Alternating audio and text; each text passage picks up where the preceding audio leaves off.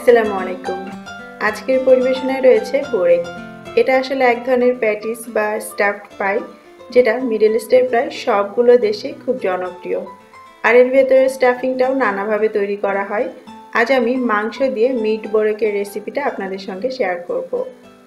আর রেসিপির প্রথম ধাপে আমি তৈরি করব স্টাফিংটা। এজন্য চুলায় মিডিয়াম আঁচে আমি একটা প্যান গরম করে নিয়েছি। তারপর সরাসরি এতে দিয়ে দিচ্ছি পাঁচশো গ্রাম ল্যাম্প কিমা। আপনি চাইলে মাটন, বিফ বা চিকেন কিমা দিয়েও এটা তৈরি করতে পারেন। দেখতেই পাচ্ছেন আমার কিমাটার ভেতরে বেশ কিছুটা ফ্যাট দেখা যাচ্ছে, এজন্য আমি কোনো তেলের ব্যবহার করছি না। আপনারা যদি লিন মিট অর্থাৎ কোনো রকম চর্বি ছাড়া একদম সাদা মাংস দিয়ে এই কিমাটার তৈরি করেন সেই ক্ষেত্রে আপনি চাইলে এর মধ্যে এক চা চামচ তেল গরম করে দিতে পারেন। এইভাবে মিডিয়াম আঁচে কিমাটাকে নাড়তে নাড়তে দেখবেন যে এর ভেতর থেকে ফ্যাটটা গলে এরকম তেলের মতো বের হয়ে আসছে। আর এক সময় এটা এরকম কালচে রং ধারণ করবে। অর্থাৎ কিছুটা ভাজা ভাজা হয়ে যাবে। সেই পর্যায়ে আমি এর মধ্যে তিন কোয়া মিহি কিমা করে কাটা রসুন কুচি দিয়ে দিলাম। আর সাথে দিয়ে দিচ্ছি মাঝারি সাইজের একটা পেঁয়াজ কুচি। স্বাদ মতো লবণ দিয়ে দিলাম। এবারে দিয়ে দিব এক চা চামচ মরিচের গুঁড়ো।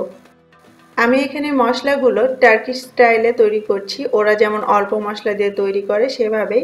আপনি চাইলে আমাদের দেশি স্টাইলে পছন্দ মতো মশলা দিয়েও এই পুরটা বানাতে পারেন। তবে খেয়াল রাখবেন, সেটা যেন ভেজা ভেজা বা খুব বেশি গ্রেভিওয়ালা না হয়। এই পুরটাকে আমাদেরকে একটু শুকনো করে বানাতে হবে। তিন চার মিনিট ধরে নাড়ার পর যখন এই কিমাটা আরও একটু ভাজা ভাজা এবং পেঁয়াজটাও একদম কুক হয়ে যাবে, তখন আমি এর মধ্যে দিয়ে দিচ্ছি এক মুঠো পরিমাণ পার্সলে কুচি। আপনি চাইলে ধনে পাতা কুচিও দিতে পারেন বা আপনার পছন্দ মতো যে কোনো ধরনের হার্বস। আবারও মিনিট খানেক এটা এভাবে মিডিয়াম আঁচে নেড়ে চেড়ে নিব যাতে এই পাতার ফ্লেভারটা এর মধ্যে খুব ভালো করে মিশে যায়। তৈরি হয়ে গিয়েছে, দেখুন, একদম ঝরঝরে একটা কিমার পুর তৈরি করে ফেলেছি। এবার আমি চুলাটা বন্ধ করে দিচ্ছি এবং এটাকে নামিয়ে ঠান্ডা করে নিব। পরবর্তী ধাপে আমরা তৈরি করব একটা সস, যেটা পেস্ট্রি শিটের উপর ব্রাশ করতে হবে। সেজন্য একটা বাটিতে মাঝারি সাইজের একটা ডিম ভেঙে নিচ্ছি। প্রথমে ডিমটাকে একটু ভালো করে ফেটে নিব। তারপর আমি এর মধ্যে দিয়ে দিব হাফ কাপ পরিমাণ টক দই। আমি এখানে যেসব উপকরণ দিয়ে সসটা তৈরি করছি, আপনারা যদি এগুলো না দিতে চান, তাহলে শুধু ডিম আর তেল দিয়েও একটা মিশ্রণ তৈরি করে নিতে পারেন। তবে এইভাবে সসটা তৈরি করলে এর টেস্ট অনেক বেড়ে যাবে। ডিম আর ইয়োগারটা মেশানো হয়ে গেলে এবার আমি এর মধ্যে দুই থেকে আড়াই টেবিল চামচের মতো দিয়ে দিলাম দুধ এবং স্বাদ মতো লবণ দিয়ে দিচ্ছি। একটু ঝাল ঝাল করার জন্য দিয়ে দিলাম গোলমরিচের গুঁড়ো এবং অপশনাল হিসেবে আমি দিয়ে দিচ্ছি একটুখানি আমচুর পাউডার। আপনার কাছে না থাকলে না দিবেন, এটা আমি নিজের মতো করে দিচ্ছি যাতে একটু টক টক স্বাদ আসে। তারপর সব কিছু একসঙ্গে নেড়ে মিশিয়ে নিতে হবে। এবং নাড়তে নাড়তেই এইবারে এর মধ্যে দিতে হবে তেল। এখানে আমি তিন টেবিল চামচ তেল এইভাবে অল্প অল্প করে ঢালবো আর এভাবে নেড়ে মিশিয়ে নিব। আর এই সসের ঘনত্বটা হবে ঠিক এরকম। এর থেকে বেশি ঘন বা পাতলা করার দরকার নেই। আর এই সসটা যেমন আমাদের পেস্ট্রি শিটের ভেতরটাকে ময়েস্ট রাখবে, তেমনি এর স্বাদটাও বাড়িয়ে দিবে। তিন নাম্বার ধাপে আমরা লেয়ারটা তৈরি করব এবং এটাকে বেক করে নিব। এখানে আমি যে ফিলো পেস্ট্রি শিটটা তৈরি করছি, এটা গত পর্বে আমি আপনাদের সঙ্গে রেসিপি শেয়ার করেছি। এখন একটা পেস্ট্রি শিট নিয়ে আমি এটাকে সমান করে বিছিয়ে নিলাম। তারপর আমরা যে সসটা তৈরি করেছিলাম, সেটা ওপর দিয়ে একটু ছড়িয়ে দিচ্ছি। এবার এভাবে ব্রাশ করে দিব। যতটুকুন আপনার লাগবে, ততটুকুন এইভাবে দিয়ে ভালো করে ব্রাশ করে নেবেন যাতে ভেতরটা ময়েস্ট হয়। তবে অতিরিক্ত দিবেন না, তাহলে কিন্তু আবার ছিদ্র বা ছিঁড়ে যেতে পারে।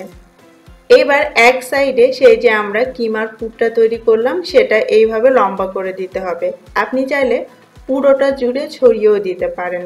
তবে আমি যেহেতু ছোট করে বানিয়েছি, এজন্য আমি এক পাশে দিয়েই করলাম, যাতে এটা ছিদ্র হয়ে ছিঁড়ে না যায়। এবারে এক পাশ থেকে এভাবে মুড়িয়ে নিতে হবে। একটু সাবধানে আস্তে আস্তে এটাকে এভাবে ফোল্ড করতে হবে। যেহেতু সস দিয়ে আমরা পেস্ট্রি শিটটাকে ভিজিয়ে নিয়েছি, তাই খেয়াল রাখতে হবে যাতে এটা মাঝখান দিয়ে ছিঁড়ে বা ছিদ্র না হয়ে যায়। তারপর এটাকে এইভাবে গোল করে একটু পেঁচিয়ে নিতে হবে বা আপনার পছন্দ মতো যে কোনোভাবে আপনি এটাকে শেপ দিতে পারেন। আমি এখানে ছোট ছোট করে তৈরি করছি, আপনি চাইলে দু তিনটা এভাবে দড়ি একসঙ্গে মুড়িয়ে বড় একটাও তৈরি করতে পারেন। আর কর্নারটা এভাবে একটু সেই সস দিয়ে ভিজিয়ে একসাথে আটকে দিতে পারেন। এবার এগুলোকে বেক করে নিতে হবে। একটা বেকিং ট্রের উপর আমি এরকম ছোট সাইজের পাঁচটা বসিয়ে নিলাম। আপনি চাইলে বড় একটাও তৈরি করতে পারেন। এবারে একটা ডিম ফেটে নিয়েছি, সেটাকে আমি এই প্যাটিসগুলোর উপরে একটু ব্রাশ করে দিব। এতে করে এর ওপরে একটা ডার্ক কালার আসবে, দেখতে অনেক ভালো লাগবে। ডিমটা ব্রাশ করা হয়ে গেলে ওপর দিয়ে আমি কিছু সাদা তিল এবং কালো জিরা ছড়িয়ে দিচ্ছি। এতে করে দেখতে অনেক সুন্দর লাগবে, তাছাড়া খেতেও কিন্তু অনেক মজা লাগে। এবার এটাকে বেক করতে হবে, আর এজন্য আমি 10 মিনিট আগে ওভেনটাকে প্রিহিট করে নিয়েছি একশো আশি ডিগ্রি সেন্টিগ্রেডে আর এই গরম ওভেনে 20 মিনিটের জন্য আমি এখন এটাকে বেক করে নিব। 20 মিনিট পরে ওভেন থেকে আমি ট্রেটা বের করে নিয়েছি। ওপরে ডিম ডাশ করার জন্য দেখুন কত সুন্দর একটা কালার এসেছে। আর নিচেরটা আমি আপনাদেরকে দেখাচ্ছি, দেখুন এখানেও কিন্তু খুব ভালো একটা কালার এসেছে। ব্যাস, আমাদের ওভেনের বেক করাটা হয়ে গেল। আর আপনারা যারা ওভেনে করতে চান না, তাদের জন্য চুলায় এখন দেখাবো। আর চুলাতে করতে হলে প্রথমে মিডিয়াম আঁচে আমাদেরকে প্যানটাকে গরম করে নিতে হবে। আর প্যান যখন গরম হয়ে যাবে, তখন এর আঁচটা করে দিতে হবে মিডিয়াম লো এবং এতে কিছুটা তেল এভাবে ব্রাশ করে দিতে হবে। তারপর সেই যে আমরা বোরেকগুলো বানিয়ে রেখেছিলাম, সেগুলো এর উপরে এইভাবে একটু বসিয়ে দিতে হবে।